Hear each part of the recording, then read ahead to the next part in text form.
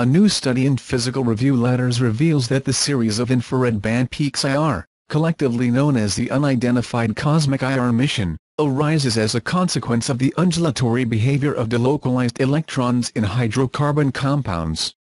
An essential aspect of these compounds is that they undergo structural transformations triggered by the absorption of light from the stars. These transformations described as defects affect the wave motion of delocalized electrons, e. electrons that move freely through multiple carbon-carbon bonds in aromatic-type hydrocarbons.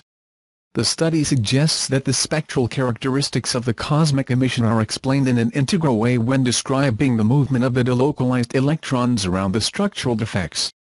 This result provides a physical framework capable of accounting for a full range of spectral observational details in this long-standing scientific subject. A long-debated cosmic phenomenon associated with stardust is the universal emergence of infrared emission peak characteristics, collectively known as UIE unidentified infrared emission bands. For decades, this cosmic emission has been explained from HAP flat polycyclic aromatic hydrocarbon molecules that float freely in space. However, there is growing evidence to support the idea that amorphous hydrocarbons in the form of stardust from the meteorites originate from the same